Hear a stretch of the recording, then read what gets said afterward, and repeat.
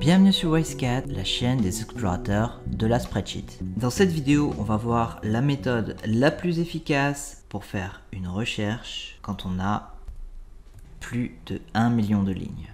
Dans le tableau de gauche, j'ai mon million de super-héros avec leur numéro d'équipe. Dans le tableau de droite, j'ai le numéro d'équipe et le nom de l'équipe correspondante. Je vais vouloir pour chaque ligne de mon tableau de gauche rajouter le nom de l'équipe. Pour le moment, si je vais dans Fichier, Information, mon fichier a une taille de 17 mégaoctets. Je vais essayer de rajouter le nom de mes équipes avec la fonction recherche V. La valeur recherchée est ici, point virgule, ma matrice est ici. Le nom de mes équipes se trouve dans la deuxième colonne de ce tableau et je cherche une correspondance exacte ferme la parenthèse et entrer. Excel va mettre un peu de temps et voilà le nom de mes différentes équipes. Je vais enregistrer ce fichier. Excel rame un peu. Je vais aller dans Fichier, Information. À présent, la taille de mon fichier a gonflé. Elle est passée à 26 mégaoctets. On va tenter avec recherche x égale recherche x Valeur recherchée, c'est le numéro de mon équipe. Point virgule, je recherche cette valeur au niveau de mon tableau et la valeur envoyée se trouve ici. J'appuie sur Entrée. Excel rame toujours. J'enregistre mon fichier. Je vais dans Fichier, Information. J'ai toujours 26 mégaoctets. Donc aucune différence entre la fonction recherche V et recherche X. Je vais supprimer ma recherche X, je vais enregistrer mon fichier et on va voir si on peut se débrouiller un petit peu mieux avec Power Query. Je vais fermer ce fichier. J'ouvre un nouveau fichier Excel et je vais connecter ce nouveau fichier à mon fichier recherche. Je vais aller dans Données, Obtenir des données à partir d'un fichier à partir d'un classeur Excel. Mon fichier est ici. Il comprend deux tables, la table équipe et la table super-héros. Je vais sélectionner ces deux tables et je vais cliquer sur transformer les données. Me voilà dans l'éditeur Power Query et j'ai bien mes deux tables qui ont été chargées. Je vais combiner ces deux tables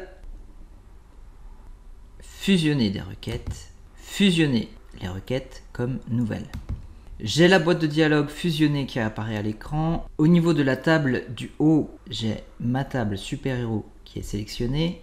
Et pour la table du bas, je vais sélectionner la table équipe.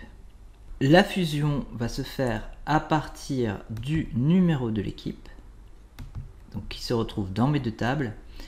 Et je veux une jointure externe gauche, c'est-à-dire toutes les correspondances à partir de ma première table.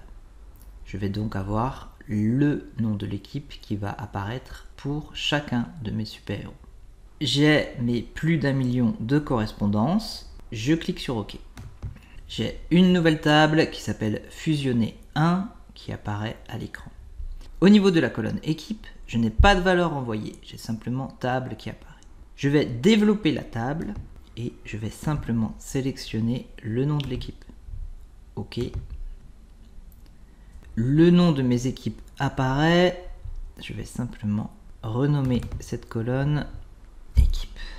Ma table s'appelle fusionner 1. Je vais laisser ce nom et je vais charger cette table dans Excel pour voir ce que ça donne. Fermer et charger dans. Je vais importer les données sous forme de tableau j'ai ma table qui apparaît. Je vais enregistrer le résultat.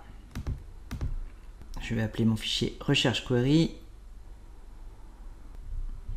Si je vais dans fichier information, mon fichier fait 22 mégaoctets. Donc on a un tout petit peu réduit la taille du fichier. Maintenant, on va voir ce qu'il se passe si je décide de ne pas importer toute la table, mais de synthétiser les données grâce à un tableau croisé dynamique.